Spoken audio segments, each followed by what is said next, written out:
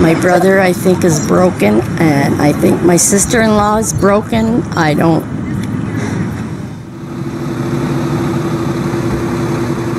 I don't know how to say it. You can't wrap your head around such a tragedy where you have four of your daughters